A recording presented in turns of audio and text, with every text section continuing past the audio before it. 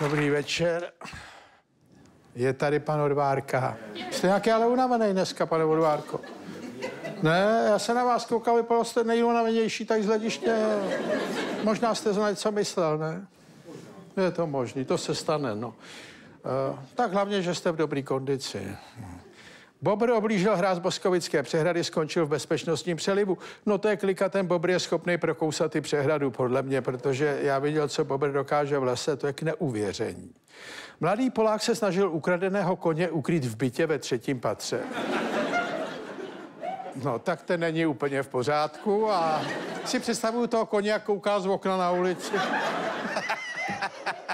a chodí lidi a říkají, ztratil se kůň, a on říká, nevím, že kouká z druhého okna, co se děje, no tak dobře.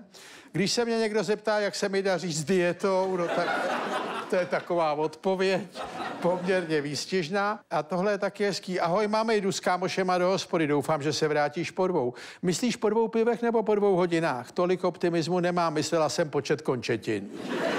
tak, to by bylo všechno.